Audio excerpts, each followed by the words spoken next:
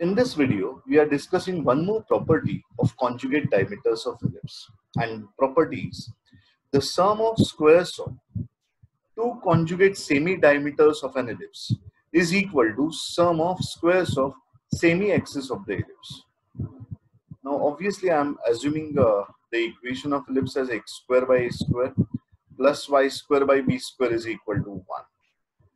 Uh, a is greater than b.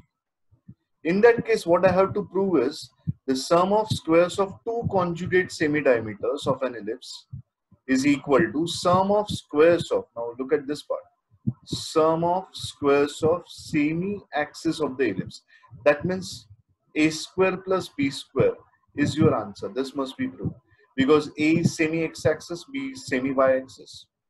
So on x-axis, half the length is a, on y-axis, half the length is b. So a square plus b square is the value, is what we have to prove. Now, look at the method for this.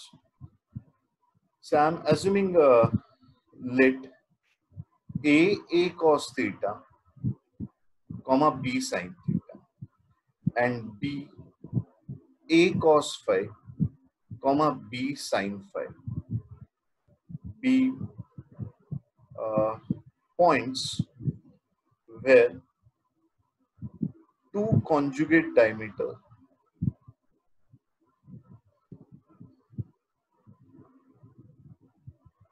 diameters uh, are drawn. So these are the points on ellipse from which two conjugate diameters are drawn. Now we know that diameters are passing through center of the ellipse.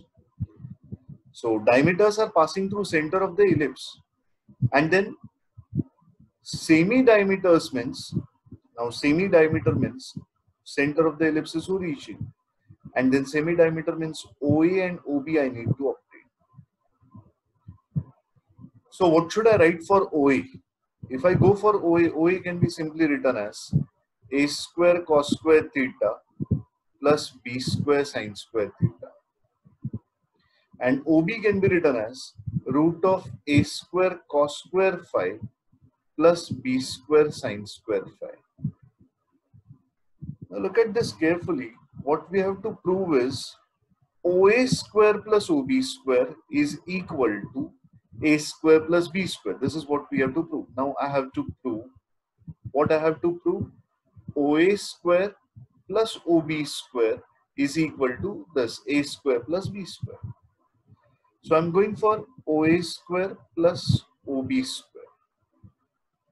So it will be simply A square cos square theta plus B square sine square theta plus A square cos square phi plus B square sine square phi. Now we had property that theta minus phi is 90 that means the points where these uh, conjugate diameters are drawn, their eccentric angle or parametric angle differs by 90 degree. So you may write then theta is equal to 90 plus phi. In that case, OA square plus OB square becomes, this is A square.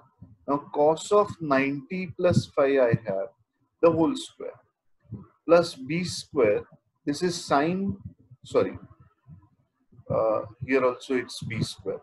b square sine square 90 plus phi I have. Plus these two terms, a square cos square phi plus b square sine square phi. These two terms remain same. Now, I have two terms of a square and I have two terms of b square. If you observe, there are two terms of a square and two terms of b square. From these two terms, I'm taking, like, observe this carefully. I'm writing now, therefore, OA square plus OB square is. So from this and this, I'm taking A square common. Now, what is cos 90 plus phi? Cos 90 plus phi, if you want, I mention here, cos of 90 plus phi is minus sine phi. But then since there is square, you can write this as sine square phi plus from this you have cos square phi plus Now look at these two terms. This is b square sine square 90 plus phi and this is b square sine square phi. So I have taken b square common. Now sine 90 plus phi. Likewise, you can write sine 90 plus phi is cos of phi. So this is cos square phi plus sine square phi. Now I hope you got answer. OA square plus OB square is equal to then A square plus B square. This is what the we got the result that OA square plus OB square is equal to A square plus B square.